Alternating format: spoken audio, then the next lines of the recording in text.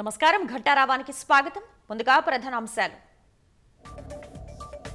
పంజగుట్ట మాజీ CI Durgarao arrest. గుంతకల్లులో అదుపులోకి తీసుకున్న హైదరాబాద్ పోలీసులు.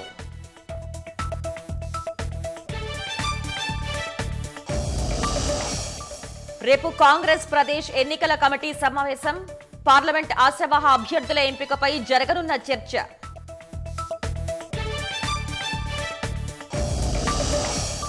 ఉమ్మడి పౌర స్మృతిపై ఉత్తరాఖండ్ కీలక ముందడుగు.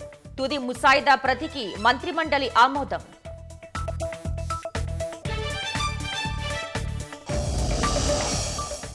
భారత వ్యతిరేక వైఖరిపై మొయుజుని వెంటాడుతున్న నిరసనలు.